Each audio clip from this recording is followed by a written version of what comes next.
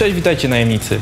W dzisiejszym filmie chcielibyśmy Wam przedstawić, jak wyglądała premiera z naszej strony, pokazać, co się pojawi w bieżącej aktualizacji oraz przekazać Wam nasze plany na przyszłość.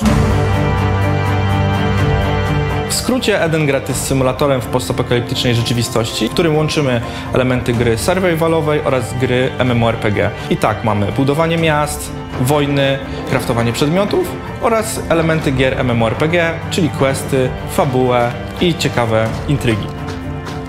Zacznijmy jednak od początku. Premiera wersji Early Access naszej gry była dla nas ogromnie ważnym krokiem i bardzo trudnym doświadczeniem, z którego nie do końca wybrnęliśmy tak, jakbyśmy chcieli. Tak jak na pewno wiecie, mieliśmy ogromne problemy ze stabilnością serwerów, z optymalizacją gry, ale dzięki waszemu zaangażowaniu, dzięki waszemu wkładowi stanęliśmy w końcu w miejscu, w którym jesteśmy teraz. Jesteśmy w miarę zadowoleni z tego, jak gra wygląda w tym momencie. Oczywiście nadal nad nią pracujemy, nadal ją udoskonalamy i nadal wierzymy w to, że będzie e, spełniała wszystkie wasze oczekiwania.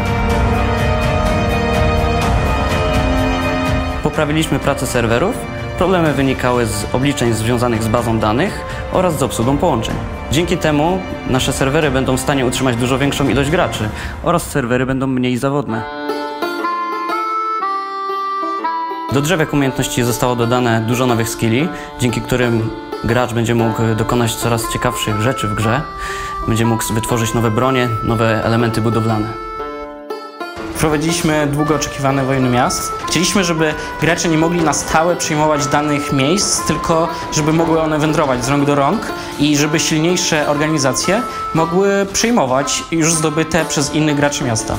Centrum miasta zyskało e, nową cechę, wytrzymałość i jeżeli atakująca organizacja zbije tą wytrzymałość do zera, to wtedy przejmuje całe miasto.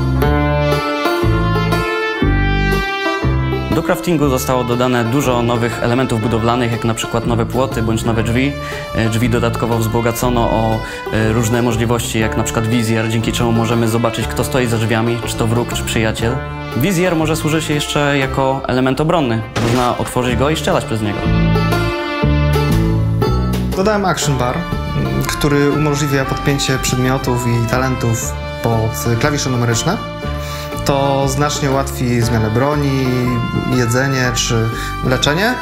No i to wszystko znacznie zdynamizuje walkę. Gdy twój towarzysz zostanie mocno zraniony i padnie na ziemię, masz możliwość odreanimowania go. Dzięki temu nie będzie musiał wracać na punkt odrodzenia. Przez to, że wprowadzamy nowy system animacji, ilość animacji zwiększyła się dwukrotnie. Teraz postacie mają dodatkowe ruchy, na przykład ślizgi, turlanie się, a stworki posiadają więcej zachowań. I między innymi y, powstała animacja skakania, combat idle, czyli y, zachowanie moba między atakami poszczególnymi, unikanie, blokowanie. W trakcie jedzenia widzimy faktycznie animację, czy też y, podczas picia albo podczas palenia. Podczas rozmowy na czacie gracze teraz wykonują odpowiednie gestykulacje mowy oraz ruszają ustami. Całkowicie zmieniliśmy to, jak teraz działają rośliny uprawne. Wcześniej było tak, że roślina powstawała w tym miejscu, w którym dokładnie stał gracz. Teraz, żeby zasieć roślinę, trzeba najpierw wybudować grządkę. Potem na tej grządce trzeba zaorać ziemię. Jest to bardziej realistyczne i bardziej poprawia immersję gry. Teraz gracz ma możliwość wyboru barwy głosu, cztery różne barwy. Są dodane różne kwestie głosowe, jak na przykład y, witaj, tylko po angielsku. Są też kwestie, które są oznaczone jako głośne. Można to nazwać krzykiem, ponieważ z dużej odległości będzie słyszalna z adekwatnym efektem pogłosu otoczenia. Przeimplementowałem podpowiedzi wyświetlane po najechaniu na przedmioty, na talenty i różne inne elementy interfejsu.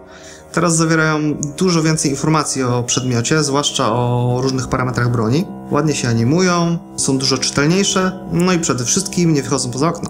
Dodaliśmy możliwość nadawania przywilejów członkom organizacji. Gracze nie będą musieli mieć osobnych drzwi dla każdej osoby. Każda osoba z organizacji może otwierać drzwi postawione w mieście.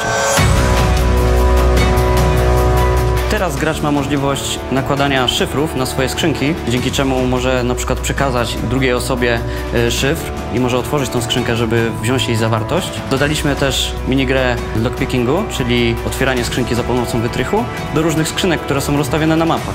Im trudniejszy zamek do odszyfrowania, tym cenniejsze rzeczy w środku. Cieszymy się, że gra została przyjęta z dużym entuzjazmem. Edengrad cały czas się rozwija i z pewnością jeszcze nie raz Was zaskoczy. To wszystko, jeżeli chodzi o ten film. Zapraszamy Was do polajkowania naszego fanpage'u na Facebooku, zasubskrybowania naszego kanału na YouTube oraz śledzenia nas na Steamie. Do zobaczenia na Bezdroża Horizony!